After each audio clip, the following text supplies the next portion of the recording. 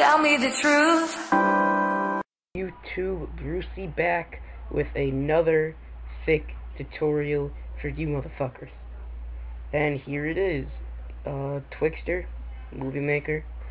Uh, it's not really Twixtor, but it, it's like as close as you can get to Twixtor. But this is how you do it. You're gonna open up your clip, whatever you got. I am going to use this Twixtor.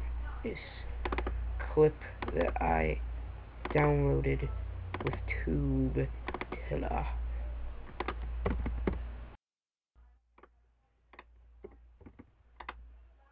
Boom.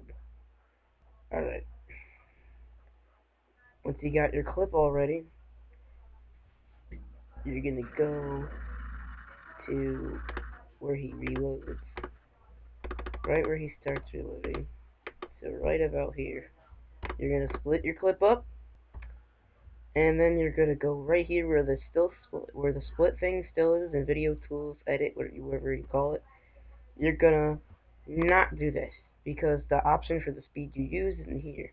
So you're going to type in 0.3 5 0.3 or 0.4 I use 0.4 but on your video that the uh, production you're gonna see it's 0.3 so if let's just do 0.35 because I can't choose right now.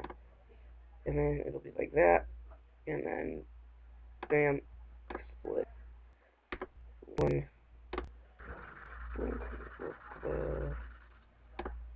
back to where he was reloading. Split, 35. Uh, let's put a little transition right here to the star.